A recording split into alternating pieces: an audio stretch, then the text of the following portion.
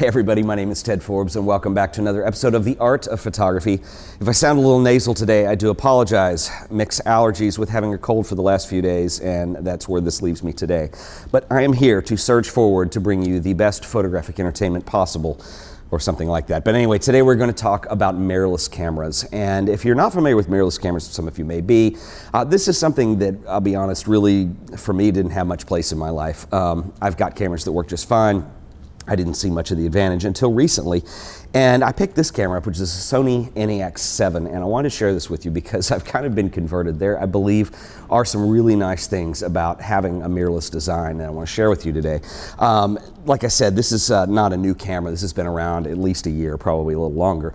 And I think the rumor is that Sony are going to have some that come out. So this is really not a camera pitch, but I am showing it to you because um, it's just got me rather excited about the whole thing. The reason I ended up purchasing this camera is uh, when I do video projects. I have a Sony camera that I use, and I needed a Sony camera that was small, uh, handheld, that I could be able to do some B-roll, some cityscape kinds of things, and not have to carry a whole lot of equipment around with me.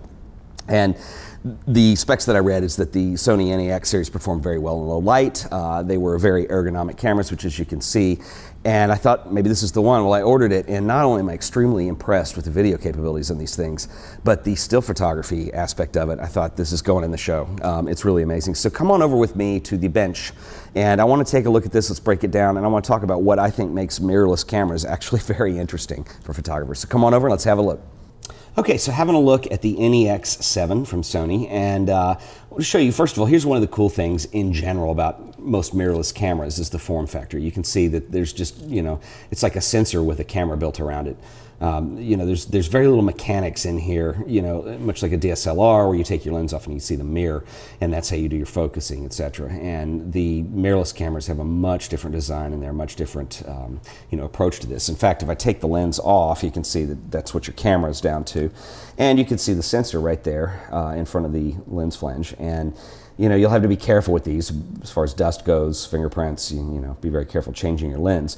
But there's an extra effect um, with the mirror, or excuse me, the mirror, with the sensor being that close to the lens flange is this. Um, various focal lengths, various manufacturers, various camera companies, as long as you can find an adapter, you could put just about any lens you've ever wanted to on here, which means you could put your old Nikon lenses on here, you can use Canon lenses, you can use, um, for me, and in fact, I'm, I'm filming with one right now, but here's another lens that I love. This is one of my favorite lenses ever. This is a, this is a Canon FD series, um, 85 millimeter 1.2. And you know, they have an EF version of this, but you know, when, when Canon moved to autofocus, their lenses went completely obsolete. Well, I actually have an adapter and I can use this on this camera.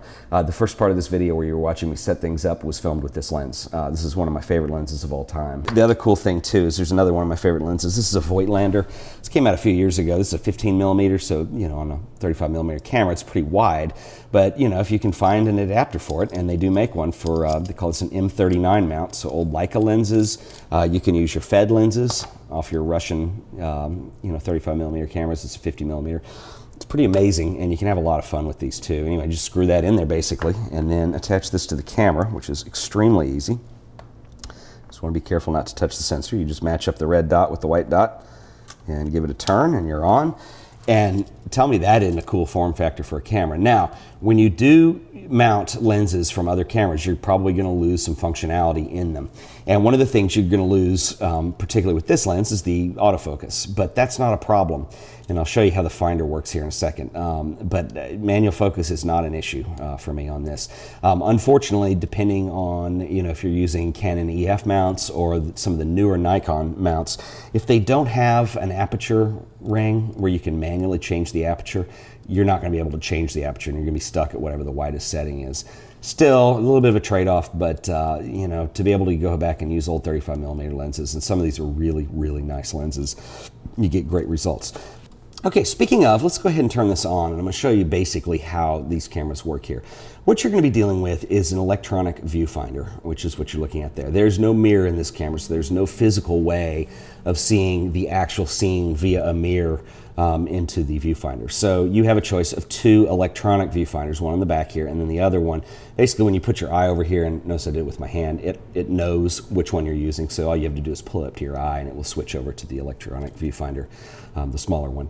Uh, what I like about this camera is that all the controls here, it's really easy. And I honestly, I just set this camera to manual and I control everything for my scene. May not be the fastest way to work, but it works really well for me. So my focus is and my aperture with this particular lens, we're using the Voigtlander, are both mechanical, so I'll use these up here. Normally the lens would be done with this, this, uh, this button here. My shutter speed is controlled with this, uh, this knob here. So I can go through the one on the left and you know lights up what, what shutter speed you're looking at and gives you a preview.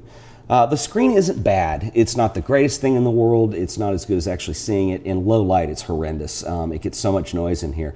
What's interesting is the camera performs very well in low light. I don't know why. Maybe because it's having to drive the LCD separately. Um, and what's nice is this one does pull out, so if you're shooting video or something, you can you can adjust it for your, your point of view. Um, but anyway, you know, the LCD in low light is horrid, and there's just no way getting around it. You're going to get used to it.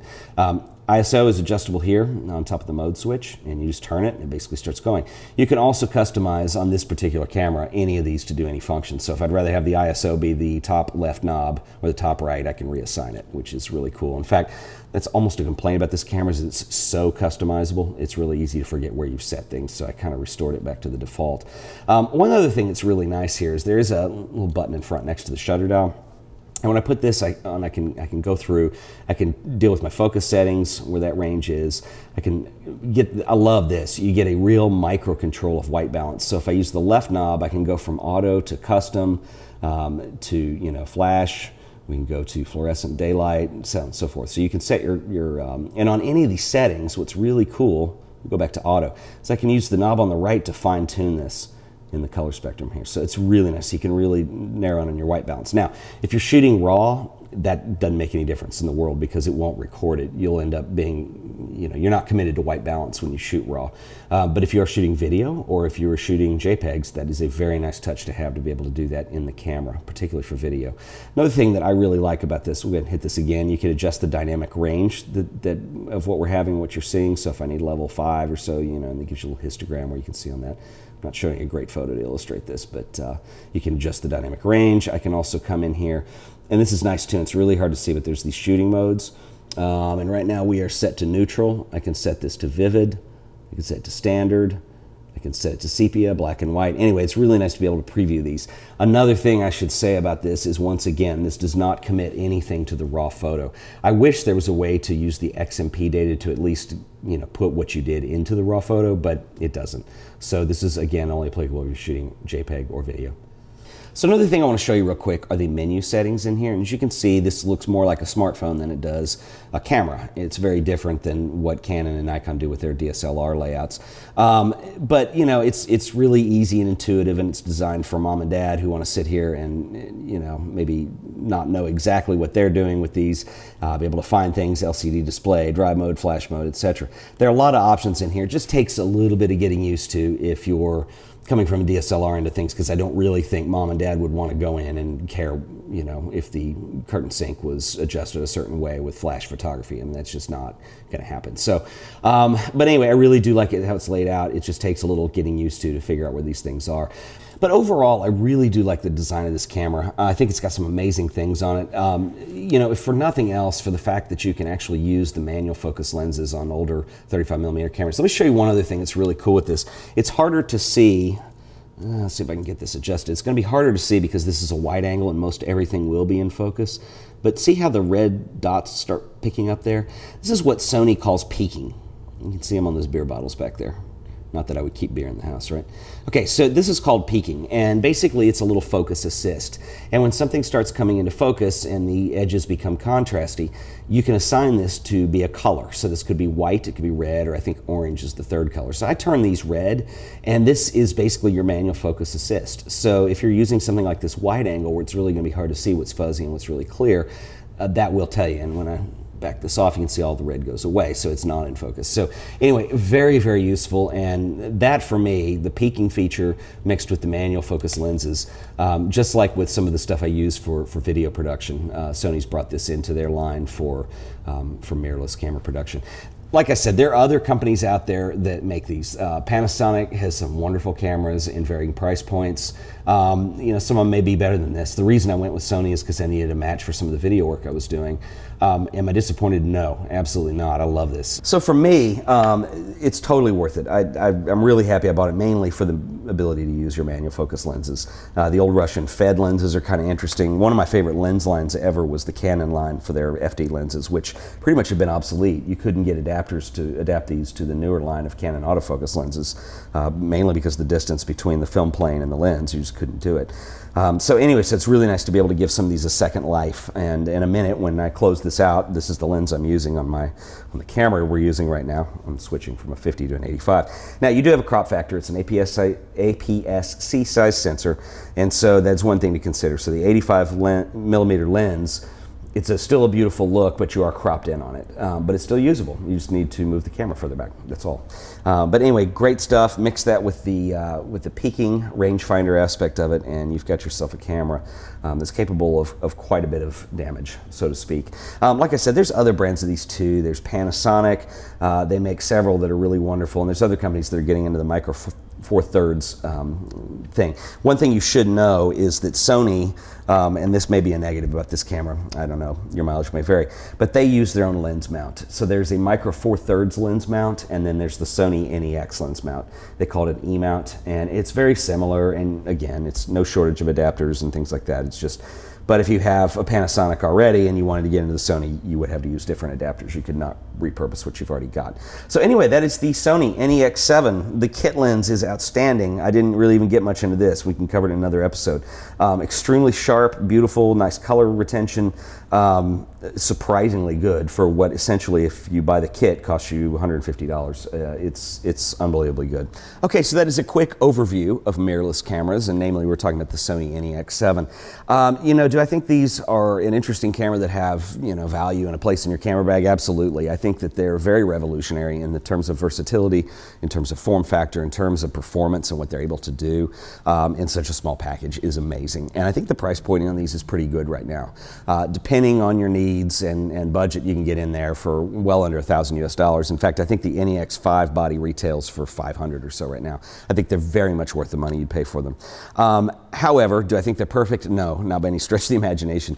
Uh, like I said, it's kind of like taking um, you know the best aspects of a DSLR and the best aspects of a point and shoot and throwing them into a blender and unfortunately, they've been thrown into a blender, and now it's time to, you know, start cooking on the on the uh, manufacturer's side of things a little bit. And they've made some great strides on this. Um, they've had some firmware updates. There's still some little kludgy things here, and you know, like one of our viewers um, and I were discussing on the website, uh, it's it's a little more like operating a computer than it is actual camera. But the results are fantastic. I think it's a very interesting camera to use. I just wouldn't have it as my main camera yet, um, but uh, you know, it's pretty close. Anyway, guys, uh, that's it for today. Um, I will leave all the show notes, uh, links to things, all in the website on the uh, webpage there. So if you go to theartofphotography.tv, you can find all that stuff. And once again, my name is Ted Forbes. I will see you next week in another episode. And thanks again for watching. See ya.